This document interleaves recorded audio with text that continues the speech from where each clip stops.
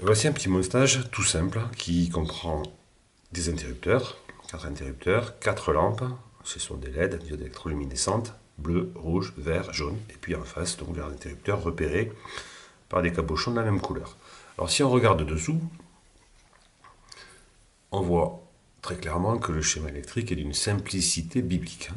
Une ligne de plus, une ligne de moins, et puis ensuite les, euh, les LED qui sont alimentés à travers l'interrupteur. Lorsque l'interrupteur est basculé, le courant circule dans des circuits comme ça qui sont en parallèle. Bon, rien que euh, de bien classique.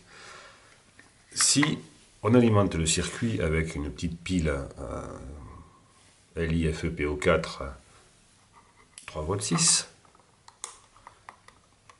bon, c'est pas très beau, mais ça tient, avec des petits aimants, et là, bon, ben, on ne s'attend pas à quelque chose de miraculeux. L'interrupteur bleu allume la LED bleue, l'interrupteur rouge, la LED rouge, vert, la verte, et la jaune avec l'interrupteur jaune. On peut bien sûr montrer que tout ça, ça fonctionne. Bon, alors maintenant, si je coupe tous les circuits et que je croise par exemple la rouge et la bleue, c'est là que quelque chose d'assez particulier intervient.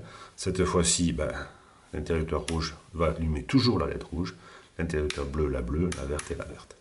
Bon, voilà. Donc là, on a quelque chose qui est assez incompréhensible. Les LED sont croisés, les fils ne le sont pas. Alors bien sûr, on peut maintenant bon, également recroiser autre chose. On peut par exemple s'amuser à croiser les cabochons. Si on croise les cabochons, on arrive à ça. Et là maintenant, bon, la LED bleue est allumée par la LED bleue, la LED verte par la LED verte, la jaune par la jaune, et la rouge qui a été croisée par la rouge. Difficile de comprendre pourquoi ça fait ça. Là où c'est encore un petit peu plus fort, c'est qu'on peut par exemple recroiser, bah, je sais pas, la jaune, tout en restant allumé, la jaune et la verte.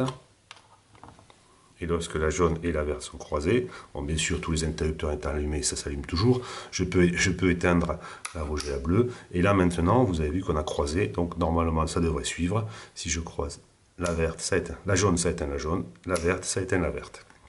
Voilà. Bon, et bien sûr, tout ça, ça continue à fonctionner. Voilà. Bon, alors maintenant, il y a quand même quelque chose d'assez particulier dans ce montage.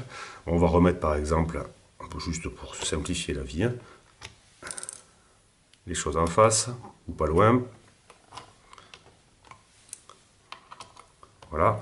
Donc là, les cabochons étant croisés, la jaune va s'allumer par la jaune, la rouge par la rouge, par. Voilà. Et puis maintenant, par contre, il y a un truc assez particulier, c'est que si j'éteins par exemple cette, cette ampoule et que j'enlève le cabochon qui coince un peu vert, je le mets là, évidemment l'interrupteur ne va plus savoir quelle couleur il doit, assumer. Pareil pour celle-là, par exemple, si j'enlève celle-là,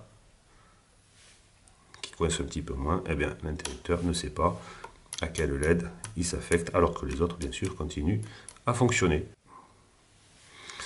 Mais si on remet les petits cabochons en place, le vert et le rouge, là, bien sûr, l'interrupteur va savoir qu'il refonctionne et va devenir vert et rouge. Et il en va de même pour le bleu qui lui a son capuchon et qui s'allume. Voilà, vous savez tout